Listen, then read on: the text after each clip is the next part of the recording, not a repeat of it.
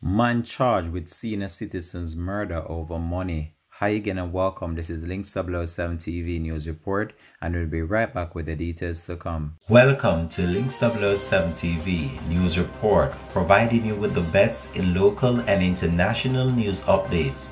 This is a place where you can get the most reliable and informative news information. Link 7 TV News Report. Welcome back and thanks for joining us. This is Link 7 TV News Report.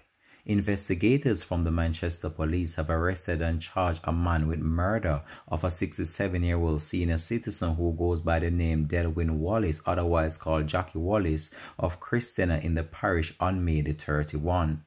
Charges 29-year-old Ricardo Kennedy, otherwise called Ricky, of Dobson District in Coleyville, Christiana, Manchester. Reports are that on May 30, Wallace and Kennedy were at a bar in the area when Wallace spoke about a quantity of cash that he had.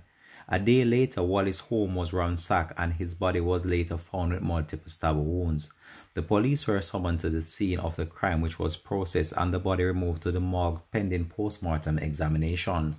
On Wednesday, August the 11th, Kennedy was arrested after being found in possession of a cellular phone belonging to Wallace. Kennedy was charged on September the 1st, 2021. A court date for his appearance will be finalized. The Manchester police are continuing the investigation.